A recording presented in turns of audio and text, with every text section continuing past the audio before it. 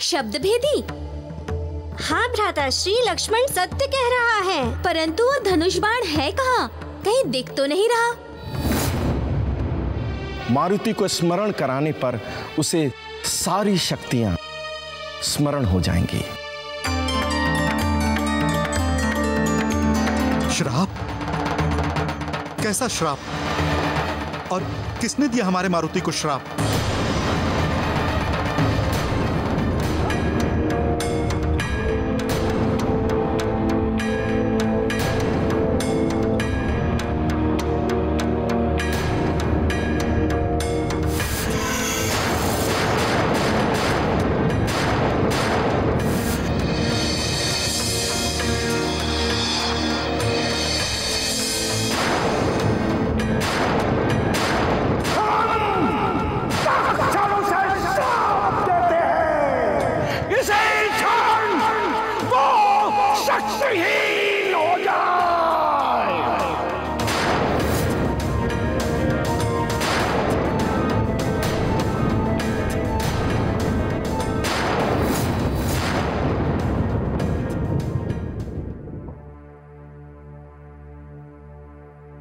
दुखी मत होइए नाना जी सृष्टि में जो भी घटित होता है, उसके पक्ष में कोई ना कोई कारण अवश्य होता है। ये बात भिन्न है कि हम उस कारण को देख नहीं पाते। तथा द्वितीय सत्य नियति द्वारा निर्धारित विषयों पर प्राणी का कोई वश नहीं होता नाना श्री हमें इस समय दुखदाई तो अवश्य लग रहा है।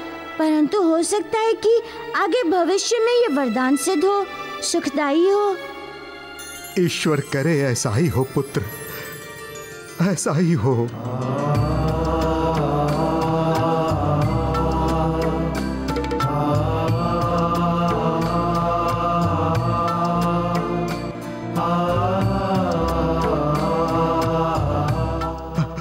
पुत्री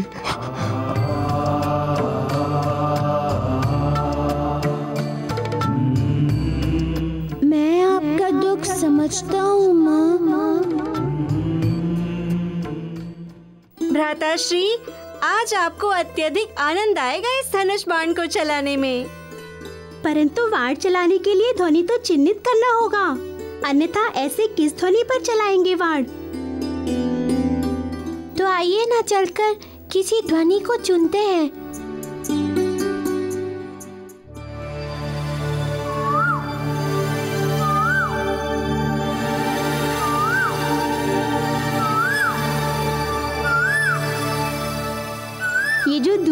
ध्वनि सुनाई दे रही है ना?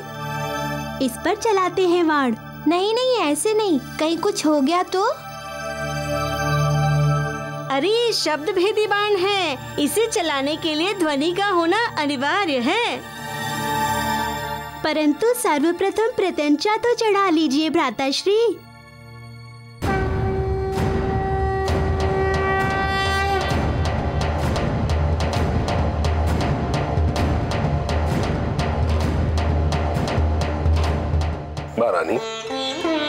आज बहुत समय से चारों पुत्रों को नहीं देखा। कहाँ है वो? बाहर खेल रहे होंगे महाराज। ये लीजिए।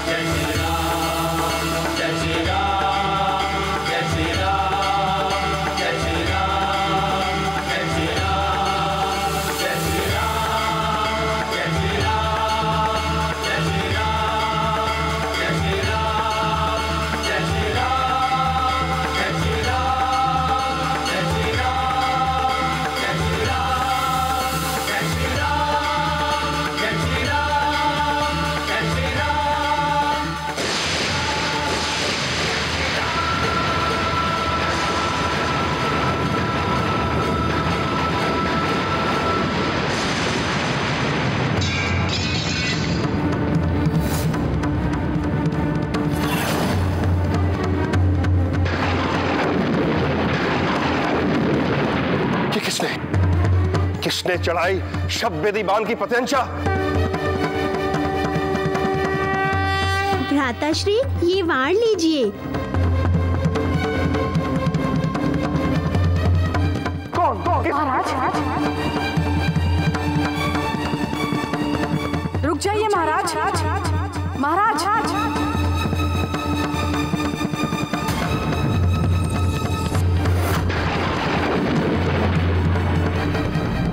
जाइए महाराज।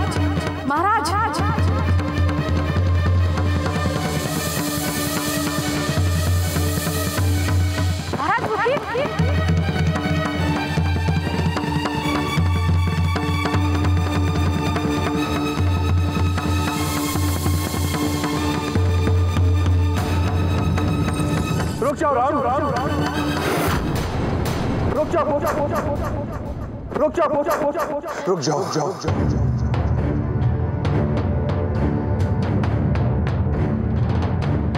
क्या हुआ पिताश्री? आप इतने अशांत क्यों हैं? राम ये धनुष बाण तुम्हें कहाँ से मिला? शस्त्रगार से।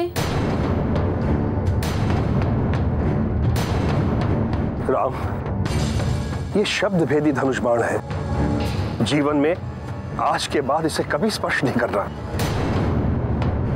लाओ दो इसे मुझे दो। परंतु पिताश्री ऐसा क्या है इसमें?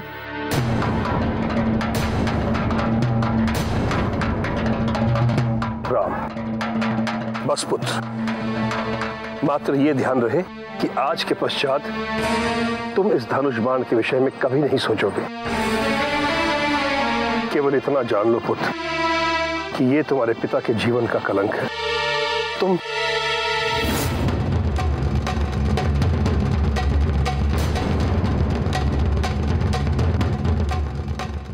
राम ऐसी कोई बात नहीं है। बेटा इस धनुष से निकला हुआ बाण किसी का भी अहित कर सकता है। इसलिए इसे आज के बाद कभी स्पर्श मत करना। मुझे क्षमा कर दीजिए पिताश्री। मुझे ज्ञान नहीं था कि मेरे इस कृत से आपको कष्ट होगा। कोई बात नहीं, राम। मुझे ज्ञात है। तुमने ये भूल जानबूझकर नहीं की है। भूल तो हो जाती है, पुत्र। अनजाने में अज्ञानतावश एवं कभी कभी जिज्ञासावश।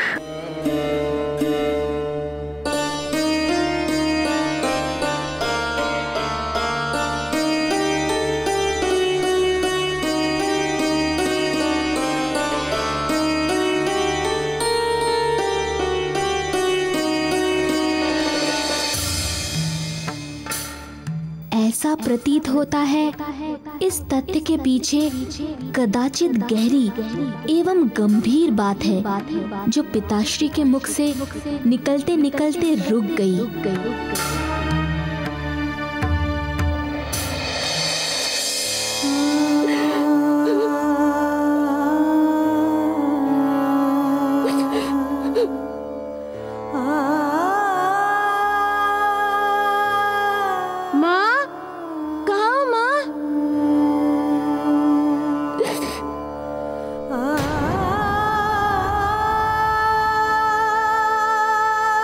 माँ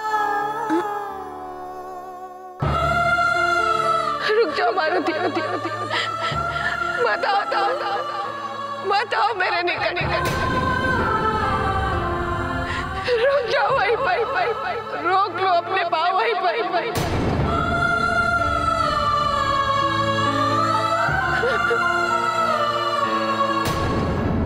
ये मुझे कैसा आदेश दे रही हो, माते? अपने पुत्र को अपने से अलग रहने का आदेश? कैसे रह सकता हूँ मैं आपसे दूर? दूर रहना पड़ेगा, मारुति। तुम्हें मुझसे दूर रहना पड़ेगा। मेरे सानिध्य में तुम्हारा किंचित मात्र भी हित नहीं हो सकता है। अपराधी हूँ मैं। तुम्हारे साथ जो कुछ भी हुआ उसकी दोषी मैं हूँ। नहीं माँ नहीं। हाँ मारुति हाँ।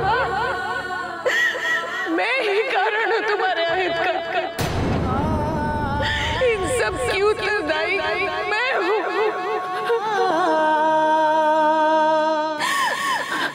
में अंधी हो गई थी मैं।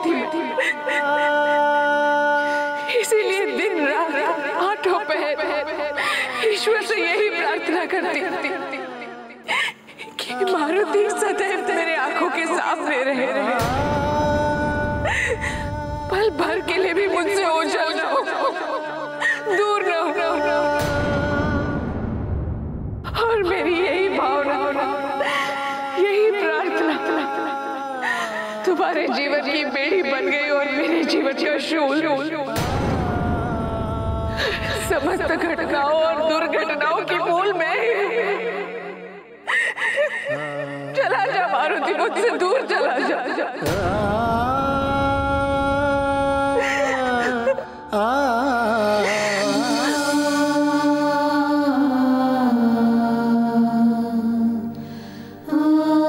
मार डालूँगी मैं अपनी ममता को। हत्या कर दूँगी अपनी ममता को। कि तुम मैं अपनी ममता को तुम्हारे मार करोड़ा बनने नहीं दूँगी। अपनी ममता को तुम्हारी शिक्षा और ज्ञान का बाधक नहीं बनने दूँगी। दूर चला जा मुझसे, मारुति।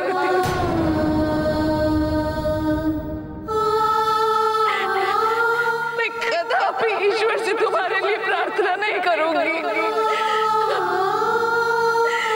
चला जा, मारुति। चला जा चला जा। बस माँ बस अब कुछ मत कहो। आप जिस ममता और स्नेह को दोषी ठहरा रही हो, वही तो मेरे जीवन का आधार है। वही तो मेरी शक्ति है, माँ। उसी से मेरा अस्तित्व है। जिन शक्तियों के जाने से आप इतना दुखी हो, आपसे ही तो मुझे वो शक्तियाँ प्राप्त हुई हैं। यदि मैं आपका पुत्र नहीं होता तो वो शक्तियाँ मुझमें कहाँ से आती? आपने ही तो मुझे योग्य बनाया है। मैं तो इस सृष्टि का सबसे सौभाग्यशाली पुत्र हूँ। क्योंकि मेरे पास आप जैसी माँ है। मुझे किसी ज्ञान की, किसी गुरुकुल की आवश्यकता नहीं है। क्योंकि मेरे पास आपके रूप में इस संसार की सबसे अच्छी गुरु, सबसे विशाल गुरुकुल तथा सबसे बड़ा ज्ञान है।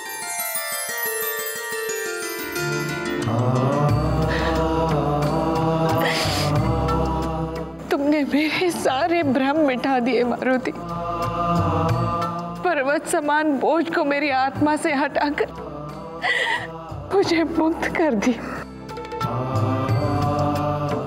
तुम्हें अपने जीवन में पाकर मैं मुक्त हो गई मारुति। धन्य हो गई, धन्य हो गई मारुति।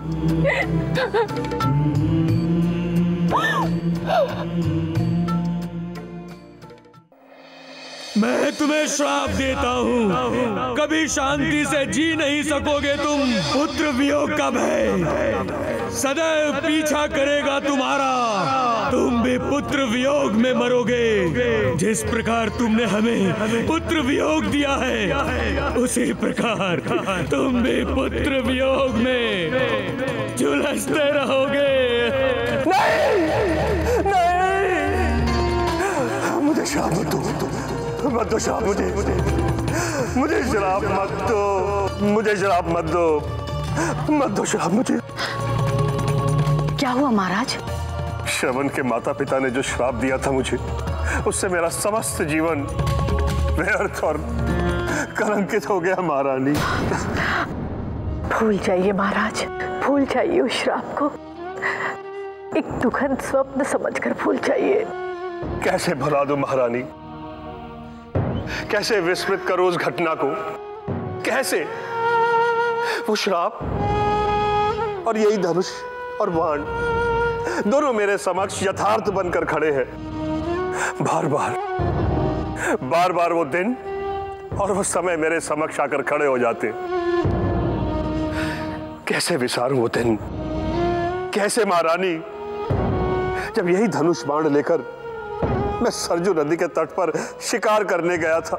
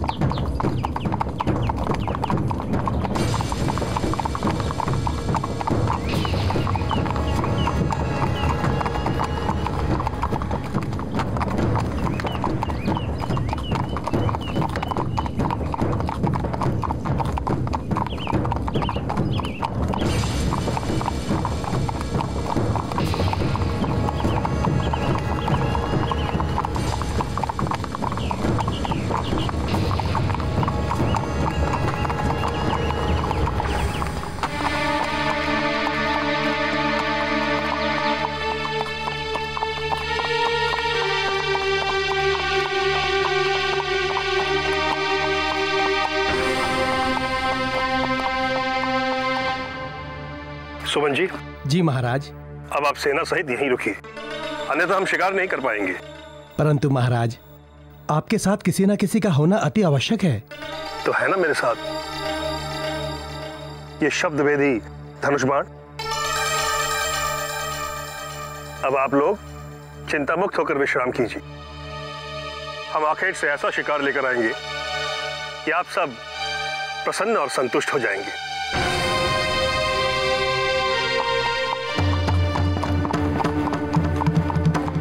ये प्रथम अवसर है, जब महाराज ने आखेट पर अकेले जाने का निर्णय लिया है। कदाचित कोई अनर्थ ना हो जाए।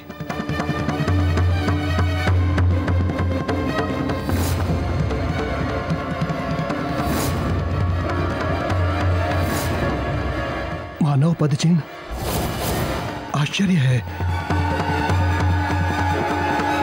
इस नरभक्षी पशुओं के क्षेत्र में ये मानव पद चिन्ह कहाँ से आया?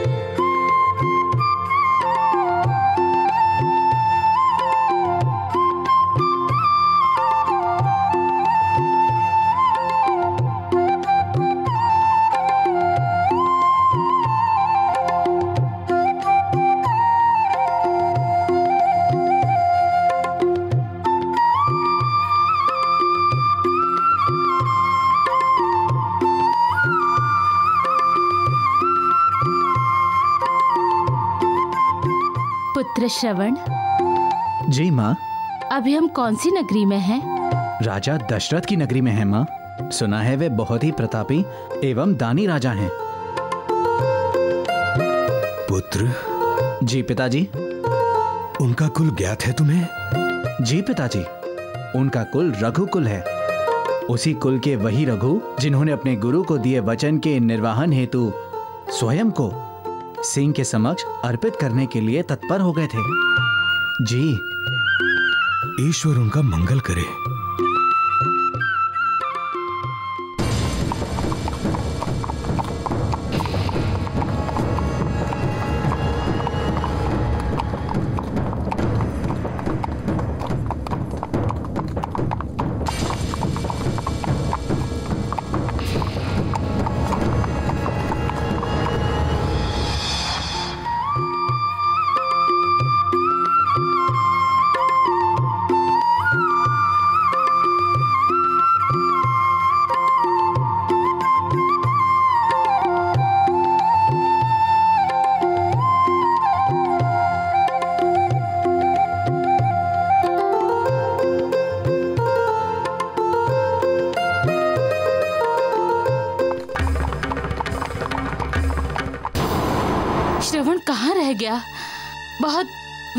कर दिया उसने आने में।